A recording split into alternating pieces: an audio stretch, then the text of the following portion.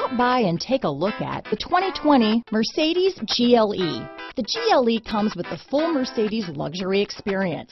It combines the sports sedan performance with SUV stability.